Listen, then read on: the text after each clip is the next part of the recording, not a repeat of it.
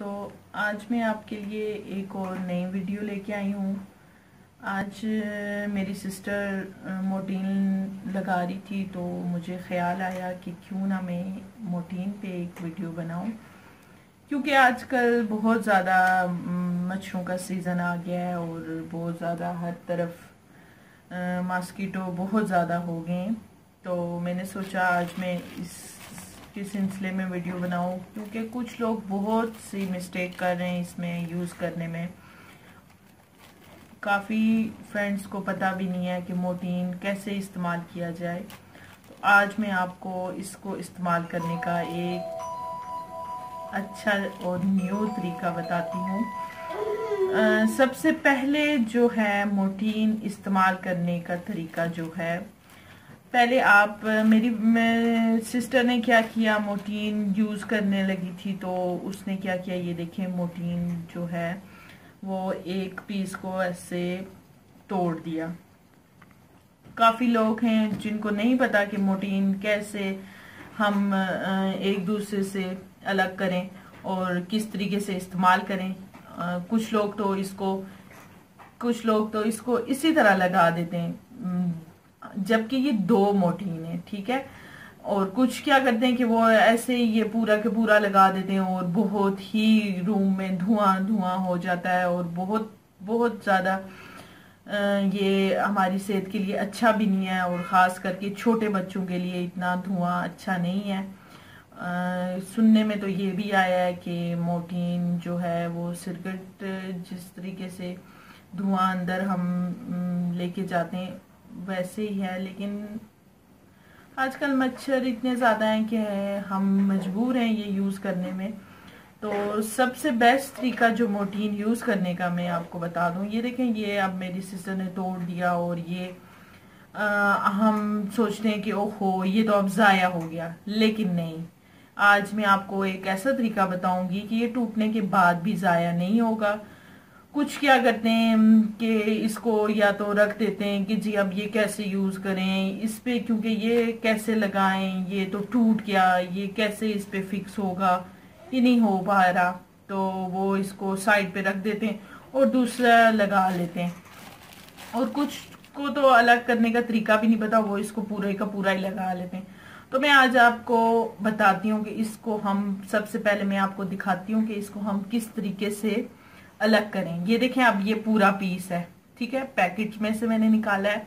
यह पूरा पीस है। ये किस तरीके से पहले हमने इसको एक दूसरे से हमने अलग करना है? आज मैं आपको बताती हूँ कि किस तरीके से हम पहले इसको अलग करते हैं। क्योंकि कुछ लोगों को तो पता ही नहीं है कि हम इसको अलग कैसे करें। तो इसको बहुत आराम आराम से अलग करना है हमने।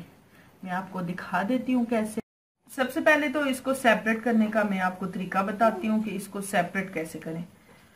और वो बहुत ही इजी है, लेकिन आराम आराम। सबसे पहले तो इसको सेपरेट करने का मैं तरीका आपको बता देती हूँ। बहुत आराम आराम से हमने इसको सेपरेट करना है। और वो कैसे करना है, ये आप देखें।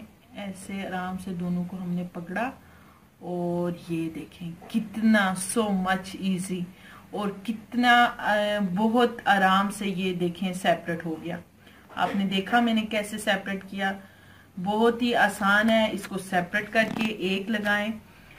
वैसे जहाँ तक मेरी आपको मैं सजेशन करती हूँ कि इससे थोड़ी ग्रेज करें, ना ही लगाएँ। स्पेशली बच्चों के पास तो बिल्कुल मत लगाएँ इसको।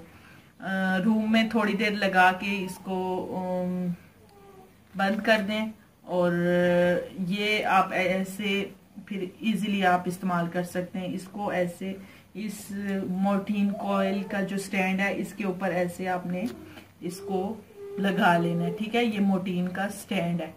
ठीक है मोटीन का स्टैंड है, इसमें हमने इस तरीके से लगा लीजिएगा, ठीक है? ये मैंने आपको अलग करने का तरीका बता दिया है। सो इजी सो सिंपल और इसको हमने ऐसे यूज़ कर लेना है, ठीक है? अब जो हमसे टूट गया वो बेकार नहीं हुआ।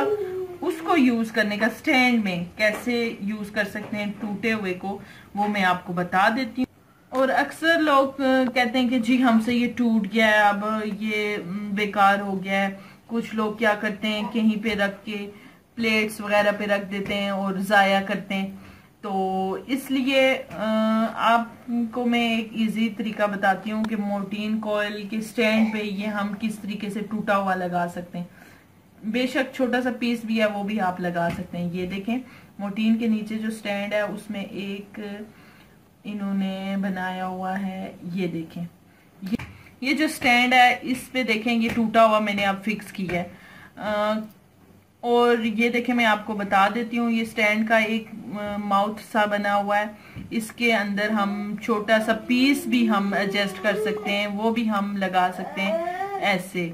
ठीक है, मैं आपको एक पीस तोड़ के दिखा देती हूँ, किस तरीके से हमने एक पीस को लगा देना ये अब छोटा सा पीस समझें, ये थोड़ा सा है, ये अब टूट गया तो इसको भी आप ऐसे करके लगा सकते ये देखें, ये छोटा सा पीस मैंने आपको एडजस्ट करके बता दिया है कि छोटा सा पीस भी टूट जाए तो उसको भी वो ज़ाया नहीं होगा डस्टबिन में नहीं जाएगा, वो आप यूज़ कर सकते हैं। ठीक है जी? और आपको मेरी वीडियो अगर अच्छी लगी तो प्लीज़ ज़रूर लाइक कीजिएगा कमेंट कीजिएगा और मेरे चैनल को सब्सक्राइब कीजिएगा और बेल आइकन को ज़रूर प्रेस कीजिएगा ताकि मेरी आने वाली और वीडियो आप सबसे पहले देख सकें।